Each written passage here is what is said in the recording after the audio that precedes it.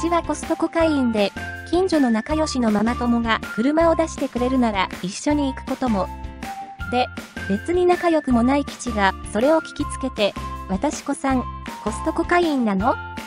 それなら私もぜひ、と乱入。おっとりしたママ友が困る中、二人しか同行できないから無理。と即お断り。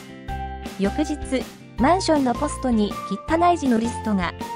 キチコのお弁当のおかずポテトとナゲットとウインナー、アトミックスベジタブル的なもの。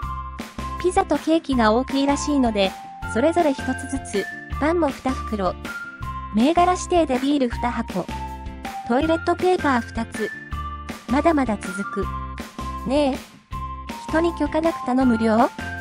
で、あんた、めちゃ金払い悪い。っていうか踏み倒しで有名でしょ？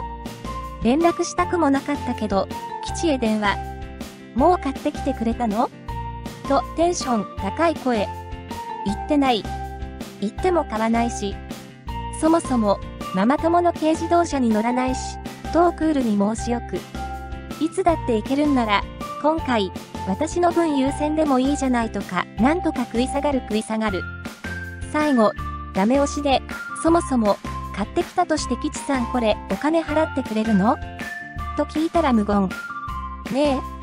と何度か念押ししたら、絞り出すように、いつも行くくせにお金まで取るんだ。だと。全然意味がわかりません。馬鹿らしくて即切り。連絡網の都合で着信拒否できないのが本当に悔しい。です。先にお金をもらって、いつか買ってきてやるとでも言っておくといいよ。っていうか、買い物頼むなら先にお金預けておくのがマナーじゃないのか。そんなマナーが全員に身についていれば、このスレは存在しなくても良いわけではら。